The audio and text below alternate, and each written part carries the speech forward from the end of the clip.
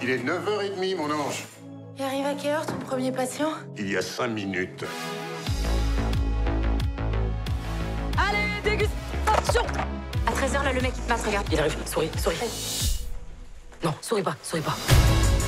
Parce qu'Antoine croit encore que tu vas au yoga prénatal Ah oui, au rythme où je suis censée y aller, le Dalai Lama peut aller se rhabiller. Hein. T'es meilleur pote avec mon frère Antoine. Il y aura pas de troisième fois. La vie des autres est tellement mieux. Moi, ça va vraiment pas, là. hein. Non, mais attends, t'es- t'es sur Instagram là? Ouais. Ouais, bah d'accord, super, très bon move. C'est l'idéal quand tu déprimes. hein. Va directement sur le compte de Gisèle Bunchen. 2018, elle a pas besoin d'un mec pour reprendre sa vie en main. Mais pas d'un mec, mais d'un ou plusieurs pénis dans son vagin régulièrement. Moi, c'est Jules. Elsa, Elsa. Elsa, Elsa. Dîner vendredi soir. Écoute, je vais t'expliquer. Tu vas y aller, ma fille. hein. Je suis bidon. Je vois tout sauf quelqu'un de bidon, moi. T'es magnifique. Le mec m'envoie un message pile au moment où je renonce à la vie. C'est une pute. Je comprends pas. Il est là pour la sauver, enfin pour la baiser. Non mais attends, hé, hé.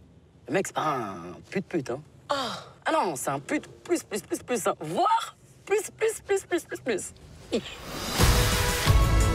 Mais comment t'as pu lui faire ça, quoi? Tu la kiffes un peu